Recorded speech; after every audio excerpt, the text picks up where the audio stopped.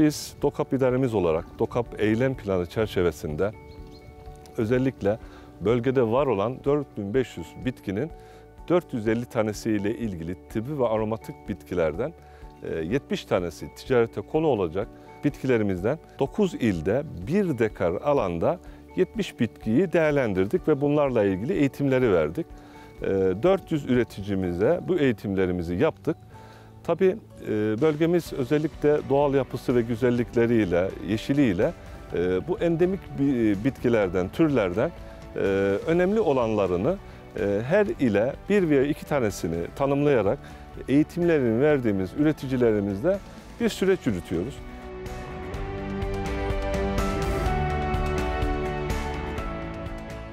Bugün de dernek pazarında e, ağaç mürverle ilgili e, uygulama yaptığımız bir bahçemizdeyiz. E, ve konuyla ilgili bir değerlendirme yapıyoruz.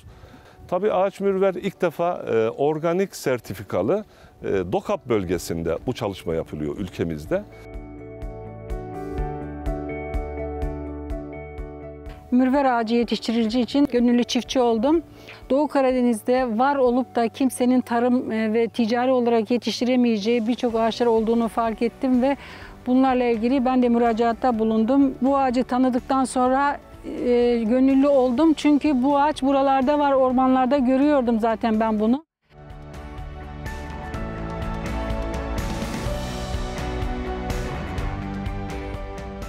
Grip gibi, enfeksiyon hastalıkları gibi e, hastalıklarda kullanılan e, ilaç ham maddesi olarak, katkı maddesi olarak e, kullanılan bir e, bitkidir.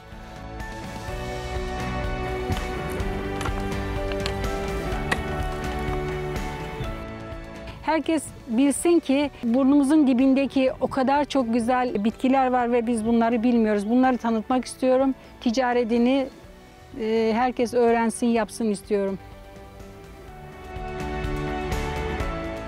Özellikle 70 bitkiyle ilgili yaptığımız çalışmalarda e, bunların ekstratları, özleri, e, etken maddeleriyle ilgili analizlerini de çıkarttırdık. Saha çalışması, laboratuvar çalışmalarında 2018-2019 yılında 9 e, ilde e, 170 dekar alanda bu çalışmalarımızı yürüttük.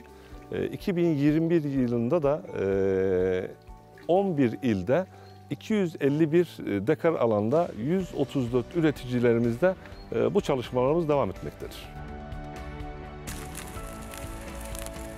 2018 yılında Salep'le ilgili e, ne yapabilirim? Herhangi bir e, üretim yapabilir miyim diye bir araştırma yaptım. 2019 yılında da DOKAP'ın e, yapmış olduğu bir projede buluştuk ve Salep üretimine başladım. Şu an yaklaşık e, 10 kişiyiz ekip olarak E, ve bunu Terme'de daha fazla yaygınlaştırmak, Samsun'da daha fazla yaygınlaşmak ve bunun e, aslında entegresini de kurup e, işlemesini ve paketlemesini de yapmak istiyoruz. Ve daha fazla üretici ile birlikte Terme'de yeni bir ekmek kapısı oluşturmayı hedefliyoruz.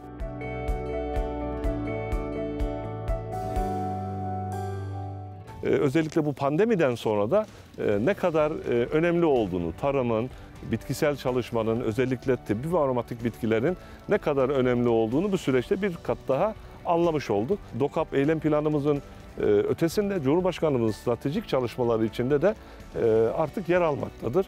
Ben bu doğrultuda da hem bakanlığımıza hem Cumhurbaşkanlığımıza çok çok teşekkür ediyorum.